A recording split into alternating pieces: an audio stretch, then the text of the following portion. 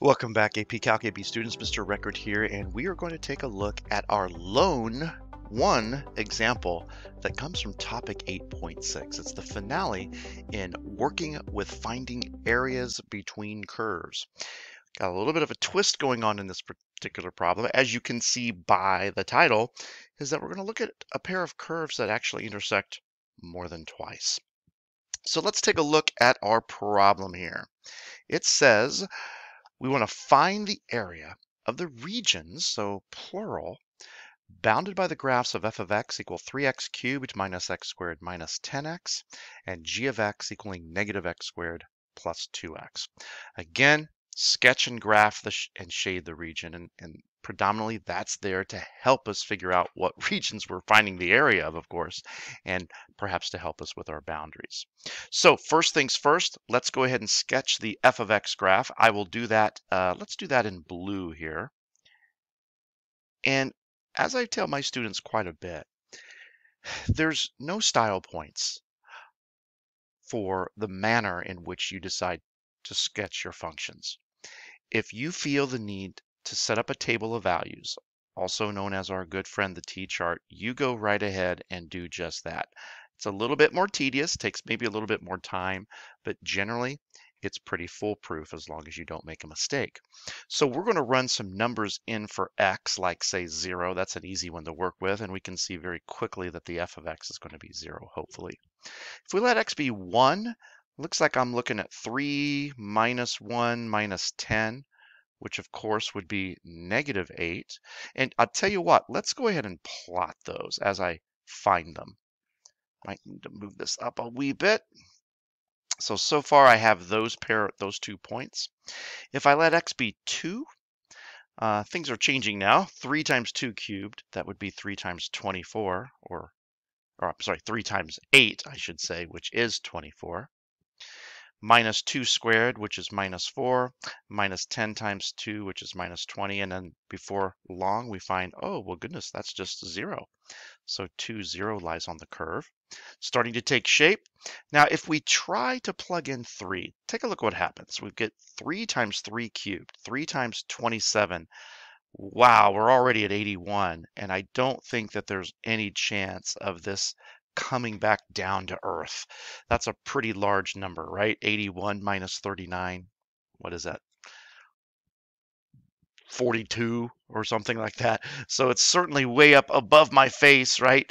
Uh, so we could probably come to the conclusion that the graph does something like this. It's just going to head out into that stratosphere. Now there's probably some things happening over to the left, so we're going to keep going with some negative numbers. Be a little bit more careful here. Negative 3 starts things off here, minus a 1 plus a 10, and you find that that's equivalent to 6. And so at negative 1, we're at 6. Maybe we'll try negative 2, see how that goes. 3 times negative 2 cubed is 3 times negative 8. So we start with negative 24 minus 4, and then we pop back up with a plus 20, and so we're going to be at negative 8. Again, negative 28 plus 20. Now, knowing what we know about cubics, it's fairly safe to assume that the graph is just going to move way down into oblivion as we move farther out from the x uh, from the origin in the negative direction. And so we have our cubic. We can really trust that this is uh, what we want. Let's do the same thing for g of x. I'll graph him in red, and this one probably won't take as much uh, time because of the fact that it's a bit smaller. Once again, if x is 0, the g of x is going to be 0, so we're going to intersect there at the origin.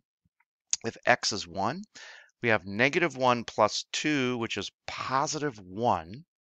Now, when you go to graph 1, uh, 1, be very careful because there is a scale change along the y-axis, as you can see. If we let x be 2, we're looking at negative 4 plus 4, which is, whoa, back to 0, interestingly enough. Let's go to 3, see what happens. Negative 9 plus 6. Well, negative 9 plus 6, of course, is negative 3, which is going to be down here. And I'm going to go ahead and pull the plug on plotting points that uh, are positive x values um, and move over to the other side. x is negative 1. We have negative quantity negative 1 squared, which is negative 1, minus r2. So we're back to a negative 3 over here. And let's go with one more. Let's see what happens when x is negative 2. We have negative 4 minus 4, which is our good friend, negative 8 again. And I believe that we could stop here because if we connect these red dots as best we can, we're going to find out that the only times that these curves intersect each other are going to be what's displayed in this particular coordinate plane. And you can see that there are indeed two regions, two regions that are enclosed. We have this yellow region and we have this green region. And we could label them a little differently. Instead of using colors, we could say region 1 and region 2 if that helps. And it's very important that we understand that the problem asked us to find the area of the regions.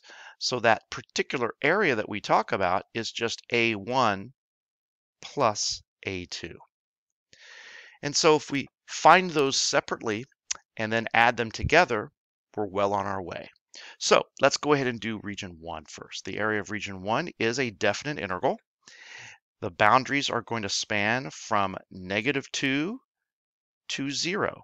Now I want you to note that this is a problem that will utilize a representative rectangle with respect to x. Right? We're using a vertically drawn rectangle for a variety of reasons, mainly because our functions are already in terms of x, but secondly, we can establish a consistent top minus bottom throughout the entire span of region 1. So the top function would be the f of x, which is the cubic, 3x cubed minus x squared minus 10x, and then we'll subtract the quadratic, negative x squared plus 2x. And as I say often, you want to make sure that you wrap that g of x in parentheses so that you remember to distribute that negative sign. So there we go. And I'll tell you what, let's go ahead and work this integral out, which is really kind of a, a very easy integral to take as it's a polynomial, but it's also very easy to make a little mistake. So we need to, to work through that. So let's go ahead and simplify or combine like terms first uh, make our integration process a little bit easier. So 3x cubed is going to start things off, nothing really to combine with. Negative x squared minus negative x squared is a very good thing because those are going to cancel.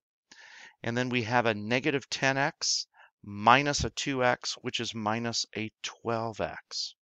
So that does kind of clean things up just a little bit. When we do integrate, we get 3x to the fourth over 4 3x to the fourth over 4 minus 12x squared over 2, which is minus 6x squared. And then we're going to use our boundaries given, which is starting at 0 and going down to negative 2. So if we plug in 0, obviously that's going to wipe everything out and we get 0. Plugging in negative 2, be careful. 3 times negative 2 to the fourth. Negative 2 to the fourth is positive 16. 3 times 16 over 4 we can reduce the 16 over 4 to get a 4, and thus end up with a 12. If we do the same thing here, 6 times negative 2 squared would be 6 times 4, which is 24, but there is a negative that comes before it. And of course, a double negative here, negative negative 12, is going to give us an area of 12. Region 1 has an area of 12.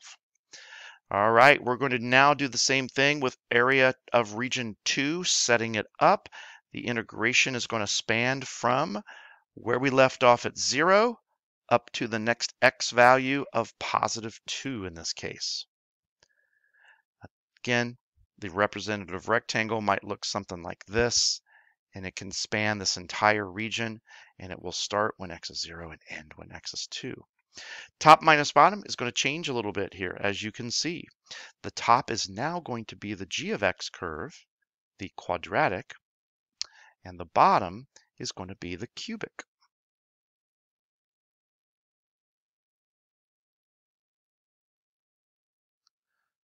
All right, as we did before, we are going to go ahead and combine some like terms here.